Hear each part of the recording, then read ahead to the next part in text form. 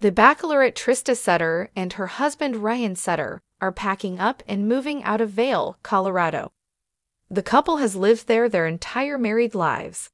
Where are they going? Keep reading to find out more. The first ever Bachelorette Trista Sutter is leaving Vail, Colorado. She's been there since marrying her final rose winner, fireman Ryan Sutter.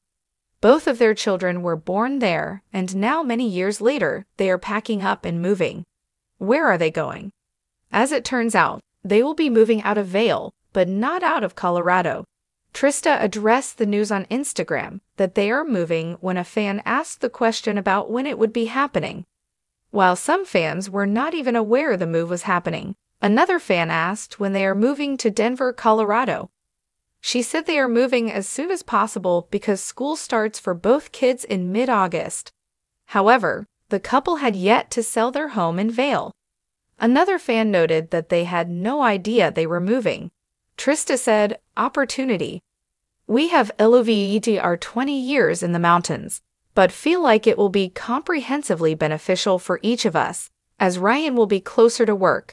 Kids will have more academic and athletic opportunity, and I'm thinking of starting a business. She added that they will also be closer to family and their favorite restaurants and stores, including Chick fil A, Target, and Chipotle.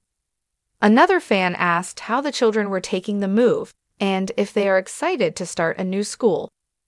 Trista shared that Max is the one who actually brought up changing schools. This sparked their conversations, and now they feel they are making the best choice for their family. She also stressed that it may not be right for some teens, but they believe it is for their own. She concluded by putting hashtag UDOU. Recall, Ryan took a job in Denver at a fire department after his Lyme disease diagnosis.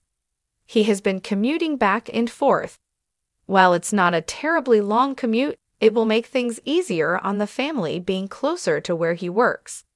As for what business Trista is thinking of, she's not yet shared that information. Anything she tries will most likely be successful and full of talent. What do you think about Trista and Ryan packing up and moving to the big city of Denver?